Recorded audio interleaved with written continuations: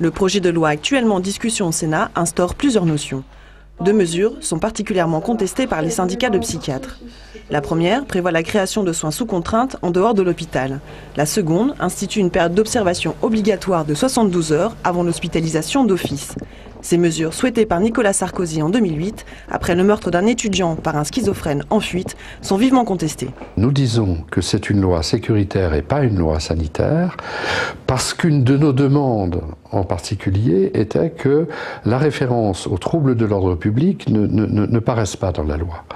Parce que si on se met à dire qu'il faut soigner des gens sous contrainte, éventuellement chez eux, parce qu'ils sont susceptibles de euh, provoquer des troubles à l'ordre public, la question qui arrive euh, chez toute personne sensée, c'est définissez s'il vous plaît un trouble à l'ordre public.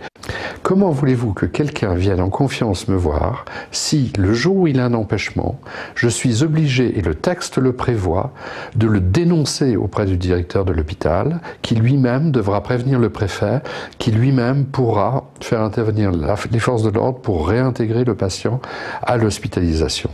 Pour l'instant, le texte de loi fait l'objet de débats et avant d'être adopté, la loi doit repasser en commission mixte paritaire puis de nouveau présentée au Sénat et à l'Assemblée nationale. Autrement dit, pour le moment, rien n'est joué.